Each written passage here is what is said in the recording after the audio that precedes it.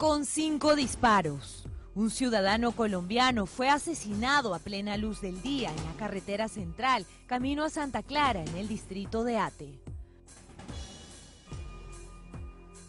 A eso de las 10 de la mañana, las personas de alrededor escucharon los balazos que acabaron con la vida del empresario César David Rojas Londoña, de 37 años.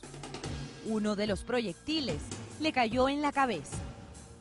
Mamá está acá lavando ropa. Mira lo que he visto. He visto cómo ha disparado. He visto, he visto un pata que está con moto. Le disparó cuatro balazos. El pata así. Después el carro se paró a la frente y ah, se, se. Y ahí se, llevaron un herido que, te- un chico que está de 15 años, se llevaron a una moto. Una moto llevaron.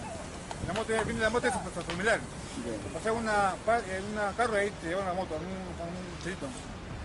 Todos viajaban a bordo de este vehículo de color gris y marca Mitsubishi de placa BNN 694 cuando una ráfaga de disparos interrumpieron el viaje. El hijo de César Rojas, quien iba al interior de la van y vestía un disfraz del Capitán América, se salvó de milagro.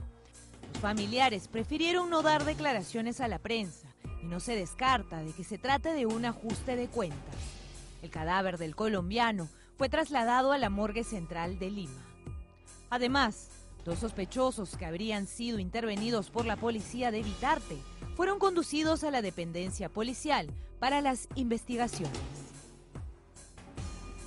Vamos ahora